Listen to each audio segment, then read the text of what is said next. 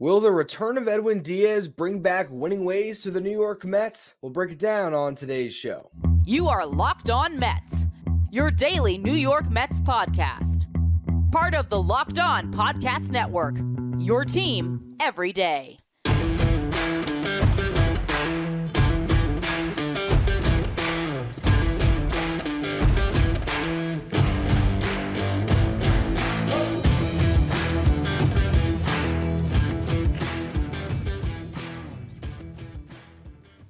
Hello to all you amazing Mets fans. You're watching Locked On Mets, part of the Locked On Podcast Network, your team every day. I'm Ariel Ryan Finkelstein. If you want to find any of my work, follow me on X at Finkelstein Ryan. Also find some of my writing at justbaseball.com, where I work as the managing editor. Today's episode is brought to you by FanDuel. Make every moment more. New customers who join today will get $200 in bonus bets if your first bet of $5 or more wins. Visit fanduel.com slash locked on to get started. Last year, the New York Mets lost Edwin Diaz prior to the start of the season. And at the time, it felt like a crushing blow, but one that we still expected the Mets to rise above, right? All right, David Robertson's your closer. You have Adam Ottavino and Brooks Raley, and you still have Justin Verlander and Max Scherzer and Kodai Senga in that rotation. And it's the same team that won 101 games the year before, but with all these additions. Come opening day last year, I thought the Mets were going to be a great team regardless of the Edwin Diaz loss. I remember recording a locked on now in the garage at loanDepot Park with my dad in the car after the Mets beat the Marlins and saying it felt a lot like the year before the Mets were going to keep things rolling. It didn't happen that way. And now, as we're armed with hindsight, I go back to the night that Edwin Diaz tore his ACL, or what, what was it? Was it ACL, MCL? It doesn't matter. He tore the ligament in his knee during the World Baseball Classic, jumping up and down, celebrating the victory. And in the pit of my stomach at the time, I thought, oh, that was two Mets. It's just two Mets. You all know what that means if you're a Mets fan. That should not have happened. Why did it happen? Oh my God, what does that mean for the rest of the season? Despite the fact that the season hadn't even started yet. And as we look back, you cannot look at that one injury and say that's the end all be all for why the New York Mets had a terrible year. But it was the first bad omen that ended up evolving into what was just an awful season for the Mets. If they have Edwin Diaz, how do things change? Sure, you still would have lost Justin Verlander right before opening day. You still lost Jose Quintana. Your rotation still would have been bad. But that trickle down effect, it is hard to really figure it out. Having David Robertson pitching as well as he did in the eighth inning instead of in the ninth and knocking every other person in that pen down a peg because Edwin was still in his closer's role, it's something we'll never know the real answer to. But I will try to give some sense of what impact Edwin Diaz has throughout the show today. So let's look at Pythagorean win loss. This is essentially how many ga- games a team should win based on how many runs they scored and how many they gave up across a full season. It's the simplest way to describe it. Now, last year, the Mets went 75 and 87. Their Pythagorean win loss record was at 80 and 82. This is looking at the entire season. So you're also factoring in two months of the post trade deadline Mets that were not anywhere near what they were supposed to be, you know, opening day 2023. So it's not an exact science, but they did leave some wins on the table. The Mets went 25 and 28 in one run games. Now, the year prior, they went 101 and 61 throughout the season. Their Pythagorean win loss was 99 and 63. So actually, they were a little more fortunate than they should have been, but not much. It was pretty much spot on. They went 21 and 15 in one run games. So you go from 21 and 15, a 583 winning percentage in one run games when you had the best closer in baseball, to a year later going 25 and 28 in one run games, a 472 winning percentage. Winning percentage dropped off by more than 100 points. Is that the reason why the Mets went from 101 wins to 75? No but it's a very big one. Win probability added is a very you know, tough stat to really draw much from. On the surface, it sounds great. Edwin Diaz had a win probability added of four, about four wins in 2022. So he added four wins to the bottom line, sure. But if you remove Edwin Diaz from the 2022 Mets, are they a 97 win team? No, absolutely not, because it doesn't really account for a role. It doesn't account for the impact on the next guy down the line. It doesn't account for the fact that Adam Ottavino had a great season as the eighth inning guy for a lockdown closer in Edwin Diaz. Is that just Adam Ottavino had a great year? Or is that some type of trickle down effect of having such an amazing reliever pitching in all of the toughest spots? You know, Buck Showalter going to Edwin Diaz in the eighth inning at times when he needed to to get that big out, to maybe bail Adam Ottavino out in some instances. There was a lot that Edwin did that year to really put that bullpen on his back. I'm not saying that's why Adam Ottavino was so good, but what I will say is he might have been worse last year because of the added pressure of having to fill in, having to try to save games at times. Because he moved up in the order. I guess technically he stayed the same, but being the eighth inning guy for David Robertson is a lot different than being the eighth inning guy for the best closer in all of baseball. Again, we will never know what the loss of Edwin Diaz meant to the New York Mets, but we do know they definitely would have been a heck of a lot better if they had him. And let's just say you win those extra two or three games in June and also in May because you had Edwin back there and he was able to save that game. He was able to go six outs and save a tough one, whatever it is. All of a sudden, the Mets are a different team last year at the trade deadline. So maybe they add, maybe they they do things differently. And who knows if that group could have found a rhythm in the second half. Buck Showalter has been doing some media rounds lately. I've been watching him, and he is very quick to point to the Edwin Diaz injury as something that killed the Mets.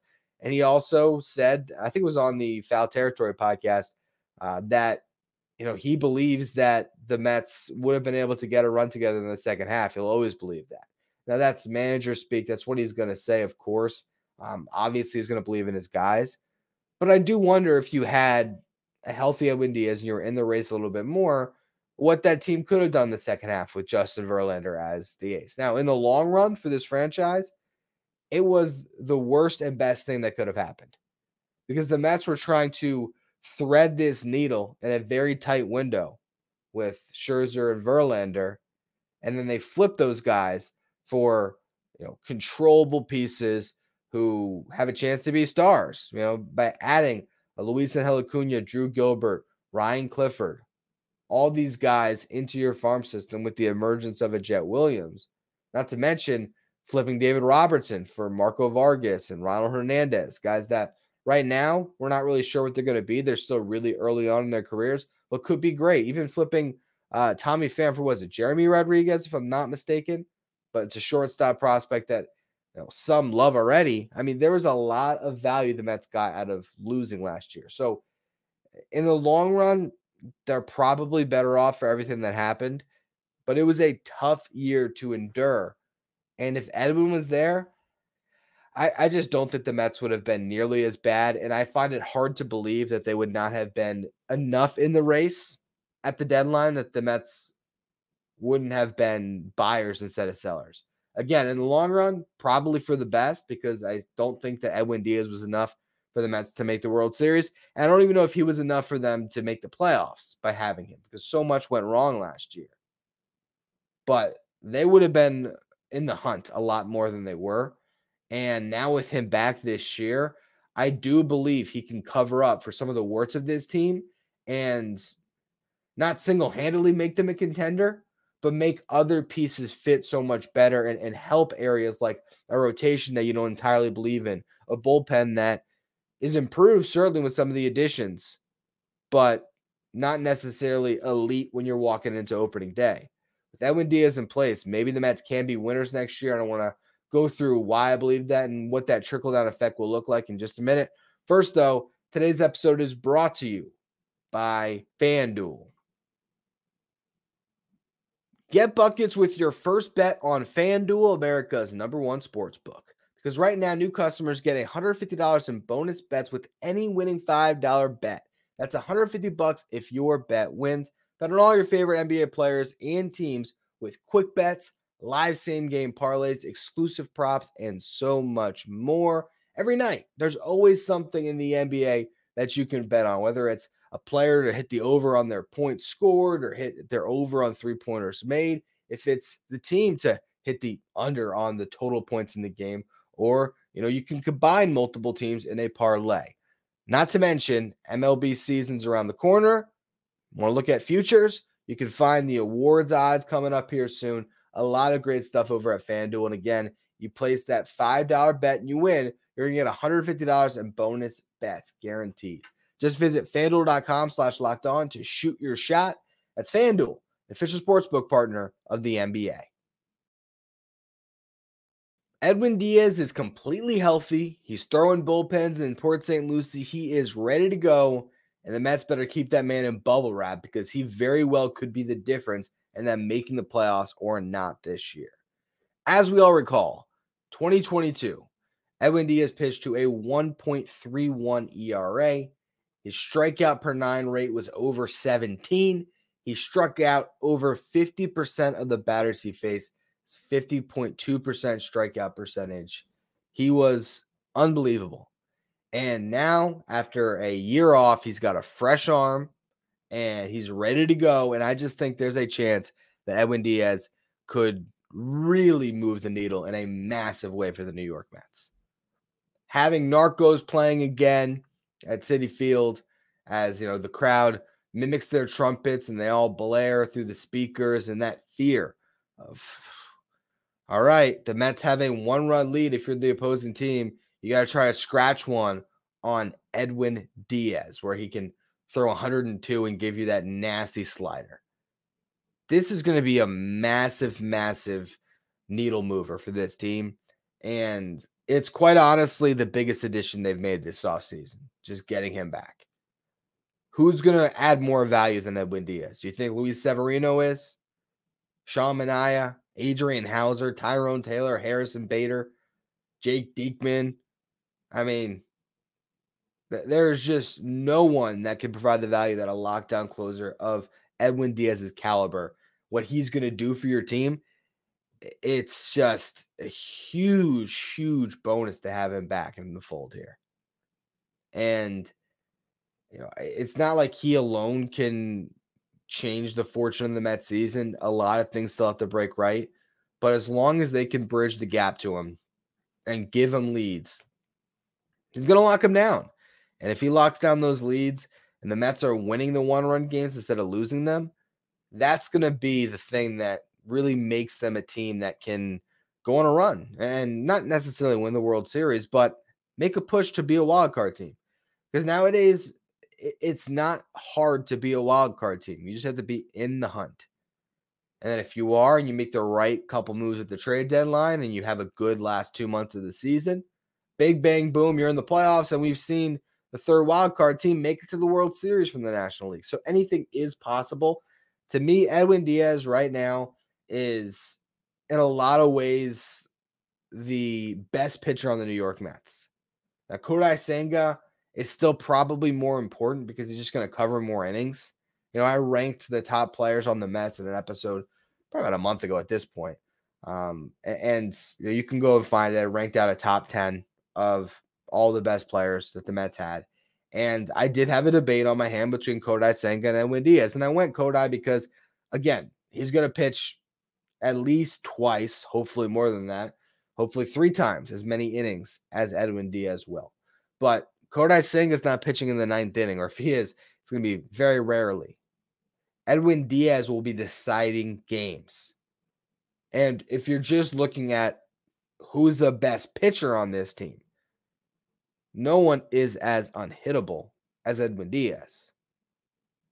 So I, I really believe that this addition or re-edition, however you want to describe that, it's going to be worth like five games at least, in my eyes. Um, and that's just on his added value alone. That doesn't even consider how much better he makes Adam Ottavino, Brooks Raley, Drew Smith, or the other guys that they added this offseason. We'll talk about a little bit more in the next segment. If Edwin Diaz is back to being himself, the Mets are going to be a much, much better team, particularly late in games. I think this is a team that is very much built on this idea of winning close games. What's been the number one priority this offseason? You can say adding pitching, but I think David Stearns would say run prevention. Hasn't been much about uh, you know, run creation I mean, who did they add to create runs this offseason? Harrison Bader? I don't think so. Tyrone Taylor? Nope. Joey Wendle? All these guys, defensive minded players. And that's the idea. We might not be able to score 10 runs a night, but to go out there and, you know, put up a, a 13 spot. But David Stearns thinking, guess what we're going to be able to do? We're going to be able to defend and we're going to be able to pitch late in games. And that was, I think, the way that he built a lot of good teams that overperformed in Milwaukee. And now he's trying to recreate that. But the good thing is, the Mets still have enough stars in place to be able to put some runs on the board. And with Harrison Bader and Brandon Nimmo and Tyrone Taylor running down fly balls in the outfield, trying to you know, prevent some extra runs from scoring, the hope would be that you have some pitchers in your starting rotation that might have a 3.6 ERA where their expected ERA is 4.4. And that group is able to overperform a little bit thanks to the defense. And if you get the right combination going to bridge that gap, because maybe those guys are only going five innings, but you can bridge it and, and get yourself to at least four outs left in the game with a one run lead. And then you can blare those trumpets and hope Edwin can come in and save the day. Add another one to that win column it's going to be a lot of fun to watch this year. I really do believe that this team is going to impress us and, and be um, better than what the prognosticators are going to expect leading into it. But a lot of that hinges for me on what Edwin Diaz is going to bring to this bullpen. The only question beyond that is who's going to bridge the gap to him. I want to talk about who I believe is going to end up in that eighth inning role in just a minute. First, though, today's episode is brought to you by eBay Motors. Passion, drive, and patience are what brings home the winning trophy. It's also what keeps your ride or die alive. eBay Motors has everything you need to maintain your vehicle and level it up to peak performance. From superchargers to roof racks to exhaust kits, LED headlights, and more. Whether you're into speed, power, or style, eBay Motors has got you covered. With over 122 million parts for your number one ride or die, you'll always find exactly what you're looking for. With eBay's guaranteed fit, your part is guaranteed to fit your ride every time or your money back. Because with eBay Motors, you're burning rubber, not cash. With all the parts you need at the prices you want, it's easy to turn your car into the MVP and bring home that win. Keep your ride or die alive at ebaymotors.com. Eligible items only, exclusions apply. eBay's guaranteed fit only available to U.S. customers. Well, we all know who's closing for the Mets this year, but the question is who is setting up Edwin Diaz? I think going into camp, the favorite to be the eighth inning guy is Adam Ottavino. It's got to be, right? He's got the most experience. He held down that role in 2022 and did very well. And even with his struggles last year, his ERA was still in the low threes. So if he can get a couple ticks back on the velo, if he can figure out that a sweeper, slider, cutter, whatever you want to call it. Figure out his breaking pitch and land it for a strike more often. Get that bite back to it, but not too much bite where it's just not competitive. All right, the Mets could be cooking with gas again with those two guys, but they also have Brooks Raley. So if you really look at it, what was the group that the Mets had back in 2022 when they won 101 games? Well, it was Edwin Diaz, it was Adam Ottavino. Then who else was it? Seth Lugo, Trevor May. Really, that year, the elite relievers on that team were just Diaz, Adam Ottavino. I guess the, the, the guys that you absolutely could trust. Now, Drew Smith had a good year in 2022, and last year it was far from that. He's in the mix again this year. We'll see what version you get. But in 2023, I think there was two relievers that you felt good about again. But it wasn't Adam Ottavino this time. It was David Robertson and Brooks Raley. Well, now you're hoping that Brooks Raley can repeat that performance. Adam Ottavino can get back to where he was in 2022. I mentioned Drew Smith. He is an option, just one that I don't think a lot of fans are going to be thrilled about, considering what he did last year and sort of just the thought that he's never quite you know, ascended to the point where he is a high leverage reliever that you trust, even when he was at his best. You got Jake Diekman, who was brought in, really good left handed reliever, had a great finish of the season with the Rays. Still don't know what you're going to get there. You have Jorge Lopez, the first major league relief pitcher the Mets added, or pitcher they added on a major league deal, I should say, this offseason. Guy that was an all star in 2022, got traded, did not pitch well, and then pitched even worse last season. Can he bounce back? Despite all those names, the one that jumps out to me is Shintaro Fujinami. It might not be opening day, it might not be in May, but at some point this season, I feel like Fujinami is going to be the second best reliever in that bullpen. Or at least that would be my hope because you know what he has? The second best stuff. He's got the velocity. He's got a pitch mix that could work, right? How's that splitter going to fare this year? There's a lot of questions with Fuji. But when you have two guys in your bullpen that can throw over 100, and that's something the Mets just did not have at all last year. I think that changes things in a big, big way. Now, if I was managing this team, I don't know if I would pitch Fujinami to Diaz. I do think I'd probably put a buffer there. So when I say who's going to pitch the eighth inning, I still probably lean towards Adam Ottavino. And nowadays, he's still, even if he gets a little bit of velo back, he's probably living more 94, 95 anyway, even at his best. Um, and last year was more 93, 94. So the reason why I say Adam Ottavino in that eighth thing, and if not him, I go Brooks Raley, is because I want, if I was the manager, I would want a, a change of pace before you get to Edwin Diaz. I wouldn't want guys timing up 101 and then getting 101 again by going from Fuji to Diaz. But when it comes to sort of function as the second more, most important reliever, the guy that you call on to get the big hitters out. There's something about Fuji that just excites me. And it's probably just the triple digits on the radar gun. And that's what eh, excited two teams last year. And it didn't really work out great for either of them. But I have seen some Orioles fans um, you know, say, hey, you guys are going to love him. And I do believe that even though the numbers weren't there, he's a guy that you really can dream on a little bit. And he certainly has the potential of being a really great lockdown reliever. So I'm excited about that. I look at the collective for this Mets team and just thinking about this bullpen. Between Ottavino, Raley, Fujinami, Drew Smith, Jake Diekman, Jorge Lopez, and certainly not in that order. I look at that group and there's six options there that could potentially be the high leverage relievers, and that's not even including, of course, your closer. So, can three of those six options have a good year? If they do, and you have Edwin Diaz firing all cylinders, that is the best bullpen the New York Mets have had in a long time. And that's not even getting to all the depth signings that were made. So I look at this Mets bullpen and I do believe that this is a real strength going into this upcoming season. And we'll probably talk about that more in the coming weeks as we get to pitchers and catchers reporting and, and, going through all the spring training notes because that is the one position battle, I guess, to follow, right? There's a lot of names in camp.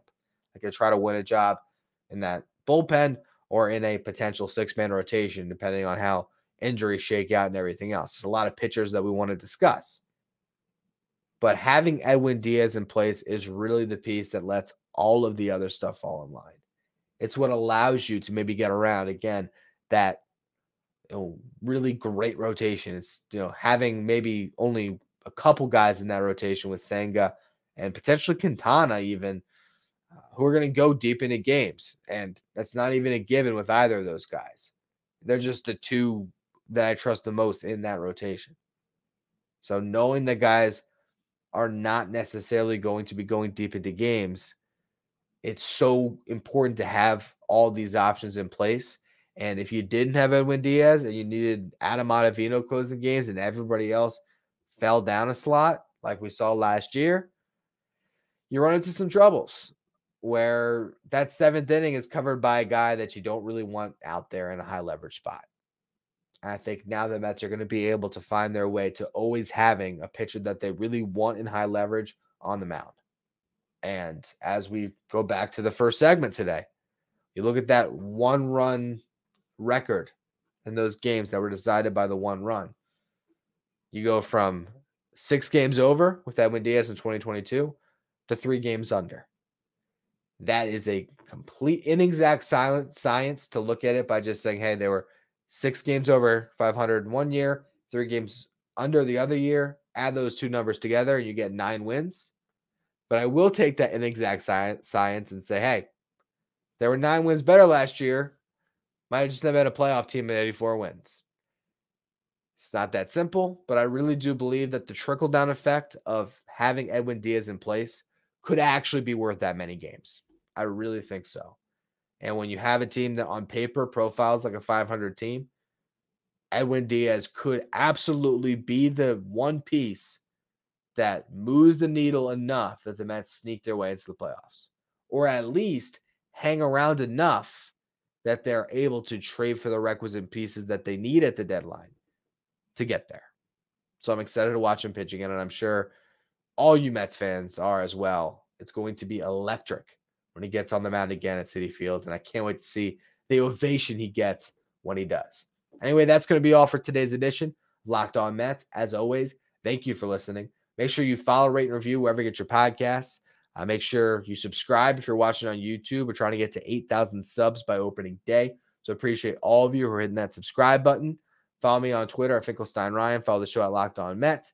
Thank you for making Locked On Mets your first listen every day. Now, for your second watch, head over to Locked On Sports today on YouTube, the first ever 24 7 streaming channel covering everything in the world of sports. Of course, today they're going to be talking about the Super Bowl. So head on over there at Locked On Sports today, which is streaming 24 7 on YouTube.